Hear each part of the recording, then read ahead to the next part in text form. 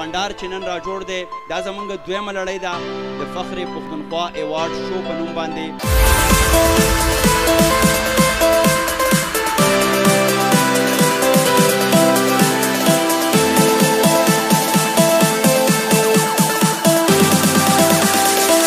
زه بختیار خټک په باقاعده توګه باندې د کوربه په حساب ټول ته هر کله ویم زم تاسو کوربه حمزه جمشید بیا کدی و دی وای په نشک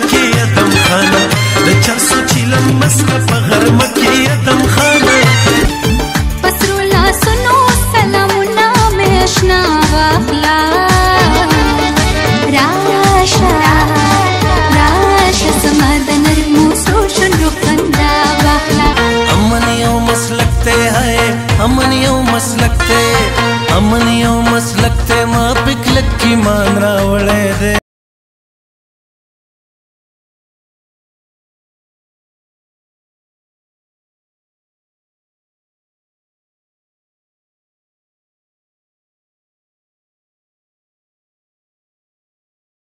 صاحب ته بلنه ورکوم ستاسو د لاسونو په ډیره پړقا کې پکې راځي نجیبه فیض